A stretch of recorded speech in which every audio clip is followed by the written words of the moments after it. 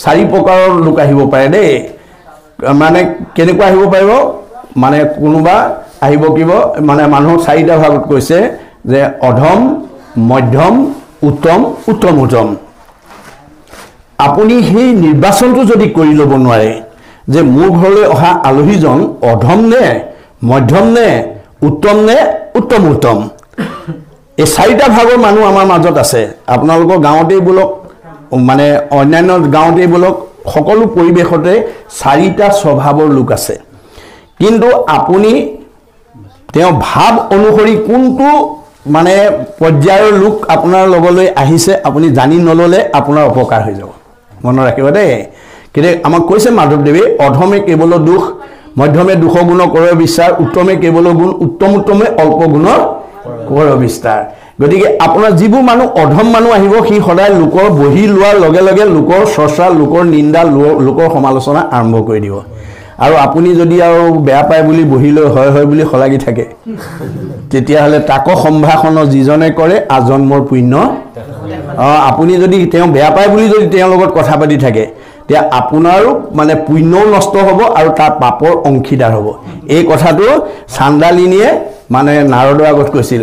হেন পাখণ্ডত মই কৰিলোঁ আলাপ এতেকে সিজিল মোৰ অমোচন পাপ।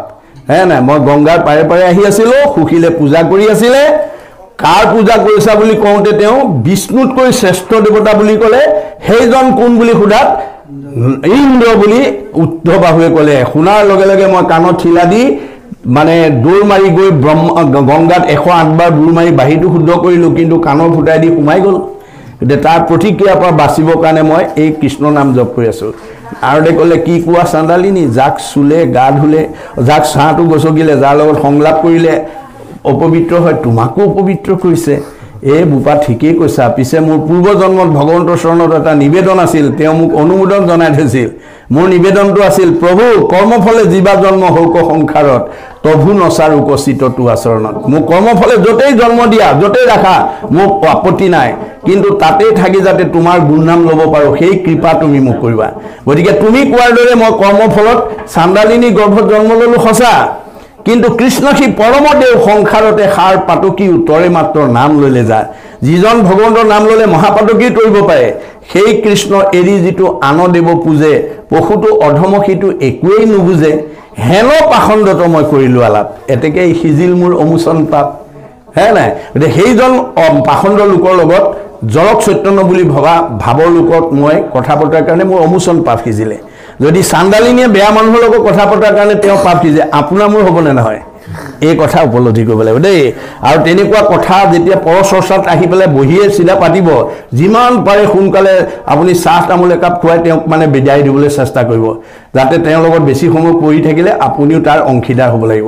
তেতিয়াও যদি নুঠে তেতিয়া ক'ব আৰু বুজিছা মৰণৈ বাপৰ বাপজনাৰ গৃহলৈ গৈ আমি কালি গৈছিলোঁ মণিয়া বাপ আহিছিলে ভাগৱতৰ এনেকুৱা ব্যাখ্যা কৰিছিলে বুলি যেতিয়া আৰম্ভ কৰি দিব আৰু।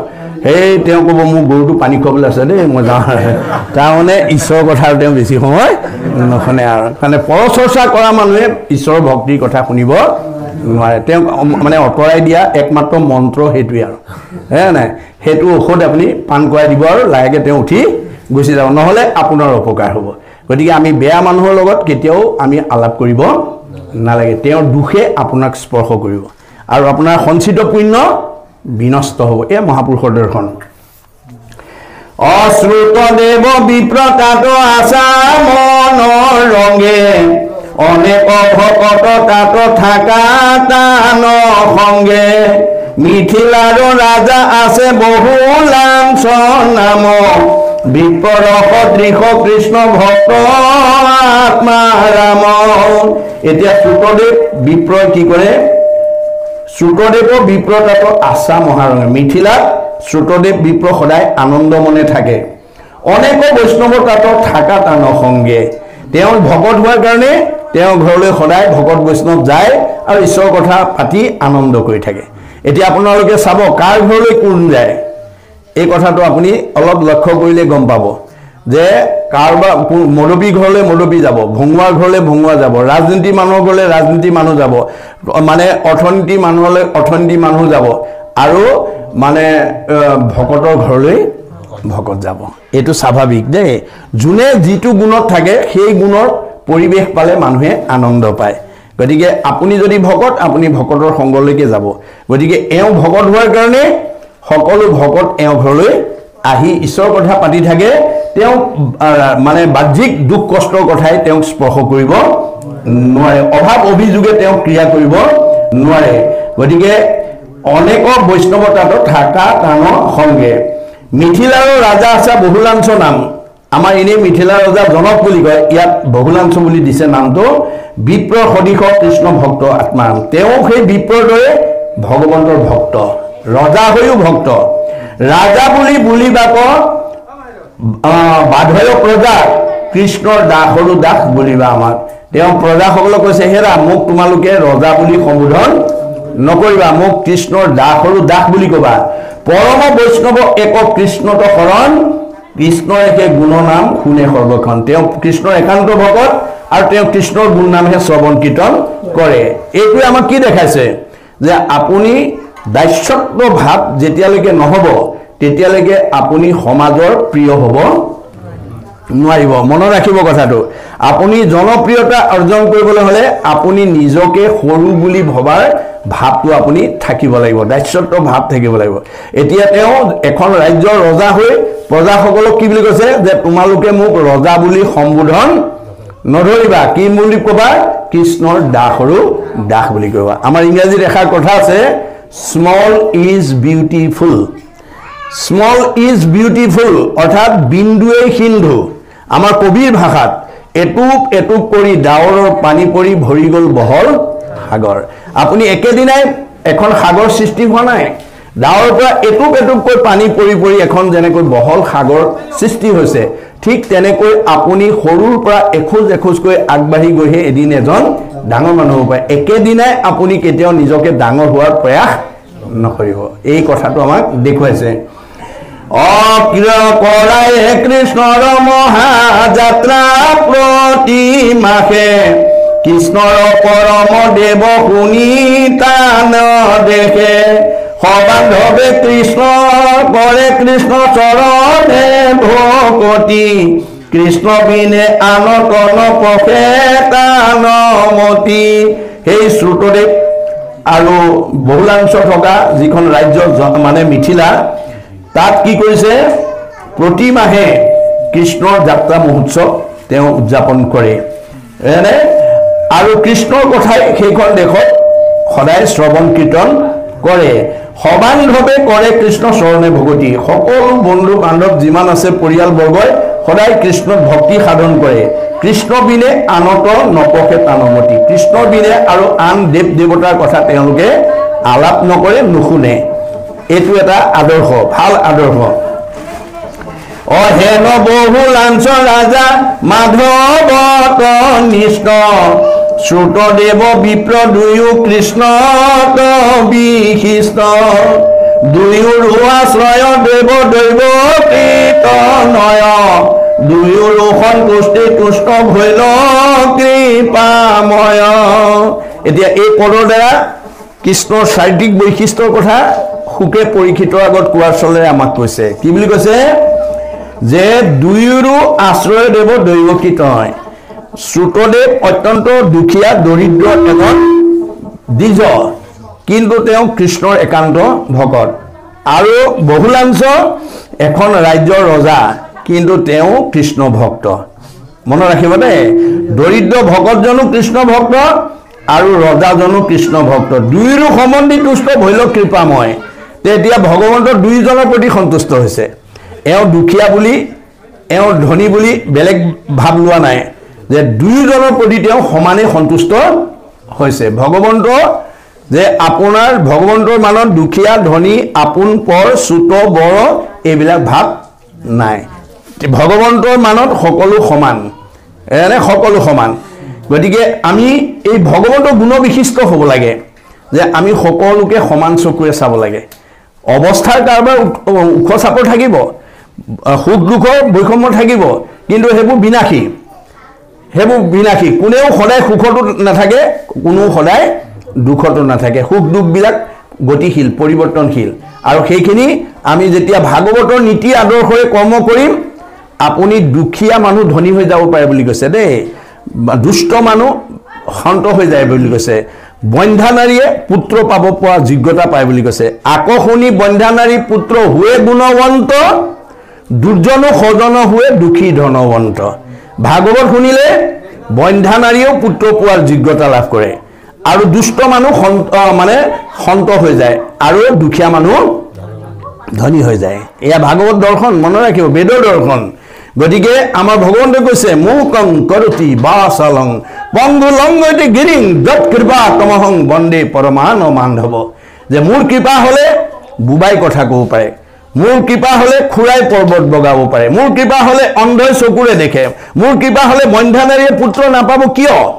মাত্ৰ মোৰ নাম ল'বলৈ যত্ন কৰিব লাগিব চেষ্টা কৰিব। আমাৰ দেউতা নকয়েই নহয় কৃষ্ণ নামেই নলয় এতিয়া কিছুমানে। মানে কৃষ্ণ বুলি ক'লেও ইফালে সিফালে চাই কোনোবাই শুনিছে নেকি? আজিকালিও কৃষ্ণ বুলি ক'বলৈ লাজ কৰা মানুহ আমাৰ সমাজত আছে। আমাৰ যদি কাৰোবাৰ সেইটো স্বভাৱ আছে আজি এৰিব দেই। তাৰমানে আপুনি ভগৱন্তৰ হাজাৰটা নাম মুক্ত মনে ক'ব পাৰিব লাগে। উদাত্ত কণ্ঠৰে একদম। সেইজন দিগম্বৰ বুলি কৈছে দেই। ৰাম কৃষ্ণ নাম যিটো কৰিব স্মৰণ দিগম্বৰ বুলি জানা তাহাৰৰ লক্ষণ। যোনে মানে সদায় মুক্ত মনে ঈশ্বৰৰ নাম কৰিব সেইজনেই দিগম্বৰৰ লক্ষণ।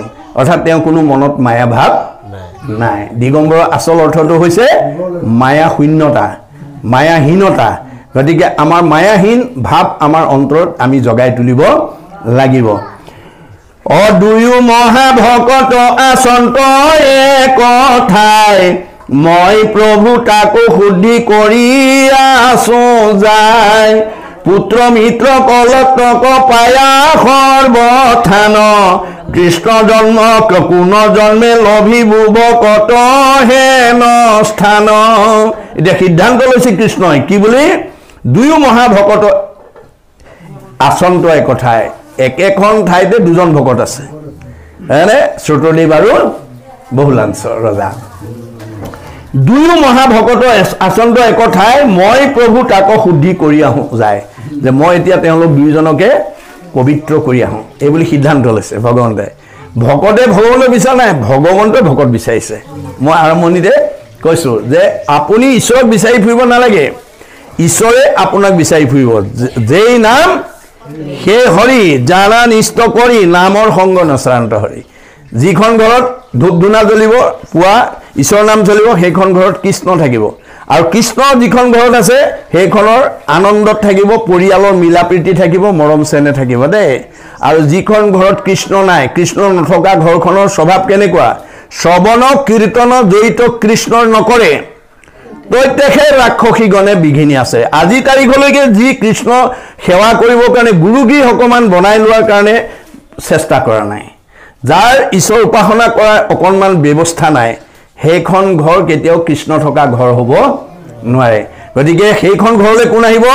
শ্ৰৱণ কীৰ্তন জড়িত কৃষ্ণ নকৰে তৈতেষে ৰাক্ষসীগণে বিঘিনি আচৰে।